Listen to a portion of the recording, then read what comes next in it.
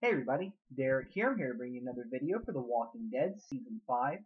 And tonight what I'm going to do is my review for the most recent episode that just premiered tonight, Slab Town. Uh, and I'm just going to be giving my thoughts, giving some things that I thought about, and just, you know, how great of an episode it was. I was actually very impressed with it. I think they did a great job of bringing Beth back into the story. The hospital definitely seems like a very interesting place and I can't wait to see what the future has for them. But um, just in case you have not watched the episode yet, there will be spoilers. So if you have not watched the episode, do not watch this video because you will be spoiled. Okay. So, um, you know, we get reintroduced to Beth in this episode. Beth has been missing since Alone, and it turns out that she was taken by um, the people that run the Grady Memorial Hospital. And um, from what I understand, it seems like it is a uh, a hospital that's being run on orders that they received originally from the government. Because I was kind of wondering about that, and it seems like they kind of are operating on that premise. You know, they were talking about they were given orders to uh, take the hospital and you know help rebuild and basically that's what they're trying to do it seems um and you know beth is taken there because she was you know getting chased by the walkers at the mortuary and she was taken um and she was able to uh basically uh get healed uh she had a cut right here on her face which you know may have been from them hitting her it may have been that she you know got you know, ran into something. God only knows. But she had a cut here, so um, you know, and her wrist was also uh, in a cast. So whether they took her by force or you know whatever the case may be, I'm not sure. But you know, she ends up there, and uh, basically it's a it's a very interesting uh, system. Definitely not um, a very ideal place to be um, because there's a lot of things that go on here basically, you know, the leader is a cop by the name of Dawn Lerner. And Dawn is basically seen as the leader of the group. Um, even though a lot of people have mentioned like that they could, you know, take her out if they really wanted to, which I found very interesting. You know, if you're if you don't have a lot of confidence in your leader, then why are you letting her lead? But I think it was more of like, you know, not having the pressure, plus, you know, the fact that she's letting people do what they want to do uh, in letting them get away with it also allows her to basically be, you know, put in that position. Because from all intents and purposes, it really looks like Dawn believes that what she is doing is a great thing and doing something that's for the greater good. Because they are bringing people in and they are, you know, if they're injured, they do treat them and heal them you know, Beth had some injuries and they took care of it. A couple of other people were brought in with injuries and they, they at least tried to, you know, heal them before, you know, they put them down like they did in the episode early on when some guy wasn't responding. So they, you know, turned the machines off because they only have limited resources. So it seems like they're going about, you know, something that they at least feel like they're working towards a greater good type purpose of you know, we're going to bring people in. We're going to keep this place running. We're going to increase the amount of survivors. And then when, and then they believe that the government is still out there just waiting to, you know, get control of everything, come back and say, hey, time to come out. We got this. And, you know, then they can rebuild the world. So it seems like they have a good intention. It's just the way they're going about it is not very, you know, ethical. It's not very moral. And quite frankly, it basically makes you a prisoner. That's pretty much what they've done with Beth, with Noah, with Joan is, and with anybody else they bring in is they bring them in and they basically say, okay, you have to work for us now, so we're going to put you to work. And every time you eat food, that's just more, you know, work. It's like it's like you know committing crimes in prison, and you're like every day that you do something wrong, they add another day to your sentence. It would, you know, it would be like if it was like that. It's basically here where every time they eat every time they take medical supplies, anytime they take any resource, it's just a longer amount of time that they have to stay there. And pretty much it's an indefinite thing. You can never really work off your debt, uh, in my opinion. So, you know, basically they're being forced to work and in exchange for that, at least for maybe the women, um, unfortunately, like Joan and Beth, are expected to basically give the male officers sexual favors. Um, reasoning being is that you know the officers feel like, hey, you know, I'm going out there because they are like basically what it seems like is they are the ones that go out there and get food and get medical supplies and get everything and bring them back. And basically, you know, they're doing patrols, they're making sure that the area is safe, they're making sure that the hospital stays safe, and in exchange for that, they want, you know, some some sexual favors, uh, it seems, which again is just totally wrong. You know, I mean, it's just not very appropriate to be demanding that kind of thing from, you know, people that are in a situation like that. It's just wrong. You know, we know that. Um, but basically Dawn lets it go because it's for the greater good. You know, and that's the thing is she, she kind of is like, well, you know, we're going to try to rebuild the world. We might have to do a couple of ugly things to do it, but once we get this over with, you know, it's back to, you know, back to normal maybe. But um, that's part of you know the bad things that are going on there. It's basically you know you can't leave. You are basically forced to you know work, and you know the women are are basically told to you know give in to the officers' uh, sexual you know needs, which is again a completely you know that that's what makes it a really bad place is just you know all the things that you're subjected to and demanded to do. Um, you know, and we saw that with Joan, the woman that uh, basically had the bite on her arm. And from what I what I believe happened was she tried to escape, and of course there's a lot of walkers down there in the dark, you know, down in the basement, and you know she ends up getting bitten, and you know maybe ran back and came back in.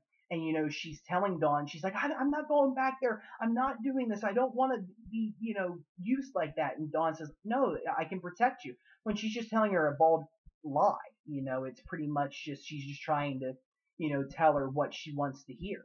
You know, Dawn is basically her belief is, you know, well, if this is what it takes to uh, help the world get back to the way it was, and this is what it takes to keep the officers happy, then I'm going to do it. And I think that's why the officers just let, you know, her be in charge because, you know, it's another person that can help them out. And if she's not going to step in and do anything about it, then, well, who cares? Um, so you know, definitely a lot of you know bad things that are going on here, and you know, the other thing that I found interesting was was they only bring in people that they can control. So that's another big factor. And you saw that, you know, Noah, um, who basically was like, you know, he does like the laundry and stuff. He, you know, he's another person that works there. And he talked about how, you know, I think they, I think he said that they sent his father away, something like that. But and you saw that just throughout, you know, when you saw Joan, you saw Noah, you saw Beth, you see that these are people that can basically, they're not as strong um, physically, or, you know, they don't really have any bargaining chips or any power. They're basically, you know, and that's the way that Dawn sees them. She's like, you know, she even explains it to Beth, like, out there, you're nothing. You're, you're dead. You know, you you don't matter, but here you at least you can have a place and we'll protect you but in exchange for that, we just expect you to work and we expect you to, you know, do these things for us. And, you know, of course they don't know who Beth is, you know, and that's the thing is they really do underestimate some of these people in some respects. But on the other hand, you also see just how much control they do have over uh, some of the people here. You know, I mean, she Dawn repeatedly beats people in this episode. And you saw that with, um, you know, they brought in another doctor, uh, Gavin, I believe his name was, the guy that fell off the, you know, from a first floor building or something, you know, where she wanted the doctor, Dr. Edwards, to break the rules. You know, normally it's, hey, if, if somebody can't be saved, then you, you know, that's it, boom. But if they can be saved, then, you know, deal with them. Well, this guy had a lot of you know injuries like internal bleeding, but she wants him to do everything that uh, he can to save this guy, and that's because he's a doctor. Um, you know, and doctors are very valuable in the Walking Dead world. I mean, let's let's face it. You know, if you are a doctor, you have a very big bargaining chip, a very big, you know, part in this world because you're going to be the one that's going to, you know, help me if you know, if I have to get my arm amputated, you're going to be the one that's going to know how to do it and you're going to be able to, you know, stop the bleeding and keep the infection. So Dr. Edwards is in a very big, important position in this group. And you see that throughout the episode where, you know, he's like, you know, speaking out for, you know, Beth and he's speaking out for, um, Joan, you know, because he knows that he, he kind of has a little bit of a bargaining chip. But you also see, you know, whenever um he she brought back Gavin, where he kind of got a little nervous, and I'll get to that part at the end. But you know, you definitely can see that certain people are in very precarious positions where it's like if you're not needed as much, your position in the group can change. You know, it's kind of like any you know regular hierarchy. You know, if you have something like that, it's like it's like introducing another you know predator into the food chain. You know, it's like when you introduce lions into the United States, or if you introduce the bear into Africa, you know, you might change things up. I guess that's kind of the analogy I'm using. And bringing in another doctor is going to knock Stephen Edwards down a peg because he's not the only doctor. They don't have to, you know, cater to him. It was kind of like, you know, when Dawn got upset when, you know, Dr. Edwards was like saying, I can't save this guy. Uh, he, she decked Beth Reason being is because you saw that Dr. Edwards cares about that. She can't smack the doctor because if she knocks him out, then, you know, how are they going to save this guy or, you know, how, what's the motivation? But by smacking Beth, it's saying, hey, you better, uh, you know, treat uh, this guy or I'm going to hurt her. And he doesn't want to see that happen to people. So you see that it's kind of like a, you know, who's got more power over who. And that's really what this is, is you know, in a sense, it's kind of a power struggle to, you know, either stay on top, stay alive, stay in a, you know, an ideal position.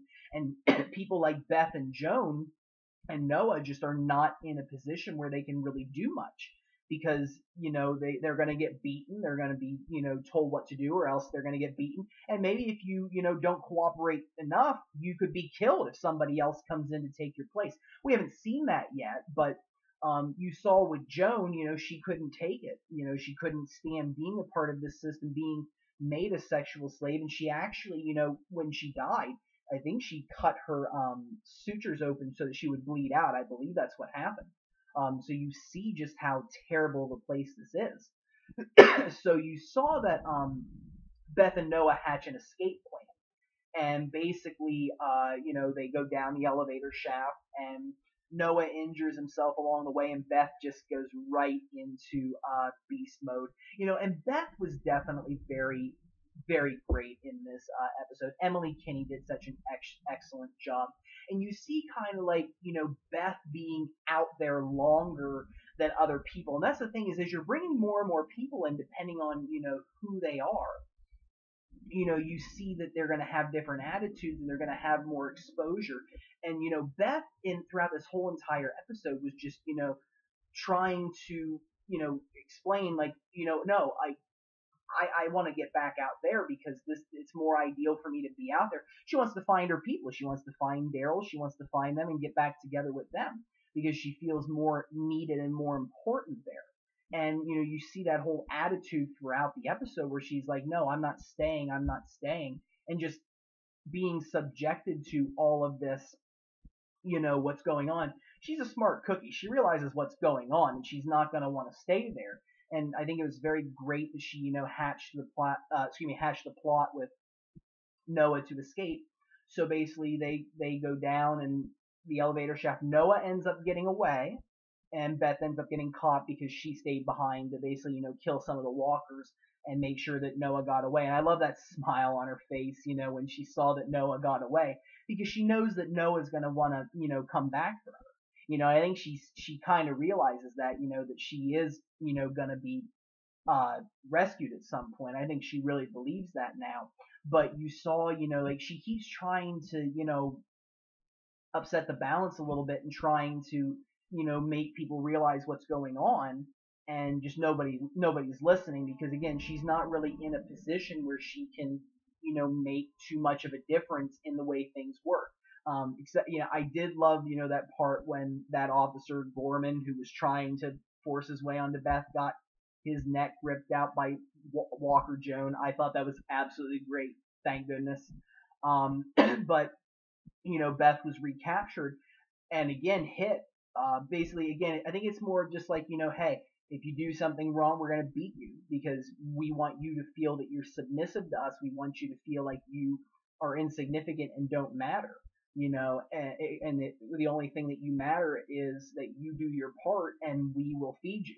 you know, you're you're basically the lower end of the spectrum here compared to us. You know, we're the top dogs and you're not. So you see that being reinforced. And what's kind of uh, ironic, a comic book reference, is where Beth's scars are at. They're not exactly the same as Andrea's, but Andrea had one kind of here, uh, basically whenever she got stabbed, and then she got shot up here. So Beth's getting some scars. You know, she's getting really tough, and um, you know, I think it's very interesting to see that. Um, you know, the way that that's working out for her. Um, and then of course the one of the last things that happened is is Beth realizes that she um you know she earlier in the episode she killed accidentally the the doctor Gavin that they brought in because the Dr. Edwards told her to give him uh clozapine something like that and it killed him and uh you know Beth you know basically uh, didn't realize what she was doing, she later realizes that the doctor intended for her to kill that other guy. Reason being, again, is because if the doctor is not the only doctor, then he's no longer top dog in a sense. You know, he his position gets you know lowered in the group, and he could you know what would be so you know important about him? Not a lot. You know, if there's another doctor that's cap- just as capable or more capable than him, then he, he's he's gone. You know, if he decides he wants to mess with what the officers are doing, then they might kill him. You know, it, that might be the case. So I found that very you know interesting. You know, again, it's like a big power struggle in this group. You know, making sure that you stay in a you know a position that you can work with or maybe even make yourself an advantage over and the doctor knows that he has an advantage over everybody he's in in essence the most important person there and he wants to remain that way. He's selfish in that respect, but you can also respect his, you know, thought behind that is that once there's another doctor there, he's no longer top dog. He's no longer valuable. And if he if he wants to, you know, speak out against what the officers are doing, then they're either going to beat him into submission because he's he's older, you know, he's not necessarily in the most physical uh, condition, or they're just going to kill him and let the other doctor, you know, run the show if he lived. So I think that's you know and I think that was part of Dawn's thinking was, you know, save this guy, you know, do what you can to save this guy because then I have an advantage over you. You know, and it's always about Dawn, you know, having control and being able to make the hospital run as best as it can. So definitely a lot going on there. I don't know how much more we're going to see of it though. Um, you know, next week appears to be just focused on Abraham's group but they left they left us off with a very insane cliffhanger. Uh, you know, Carol gets wheeled in there. Uh, so how did that happen? well, I guess we're gonna have to wait a few weeks to find out because again, I think I think it's just gonna be focused on Abraham's group next week, so we're not gonna find out right away. But I think it was a great episode. I think they did a great job um, reintroducing Beth. It was so great to see her, so great to see her, you know, tougher than she ever was. And I I just think that there's a lot of great things that they can do with Beth's character now. I'm just very interested to see how the rest of the season is going to play out. I can't believe we're already halfway through the fall. So insane. Um, it really is. But I just want to thank you guys uh, for watching. And I, I, tonight I want to give you all a special thank you. Um, this is my 100th video uh, for my channel. And I just want to, you know, again express my deepest thanks to everyone that's been watching, everyone that's been commenting. I really do appreciate it. You guys definitely, um, you know, it makes me happy to know that I'm able to get Walking Dead material out there that you guys watch, that you guys are interested in it. I really do appreciate it. Um, I have um, so much thanks for all my subscribers. I really, really appreciate it. I'm going to continue to make videos. Um, I, you know, tell your friends. I got think, more things coming out, and I, again, I just want to thank you. Um, you know, none of this would be possible without you, and it really means a lot to know that, you know, that I'm getting information out there on Walking Dead that, you know, is relevant, does matter, and I really am appreciative of all of you. So thank you, thank you, thank you. Um, I hope you all have a wonderful evening, and I can't wait for next week. Thanks again, guys.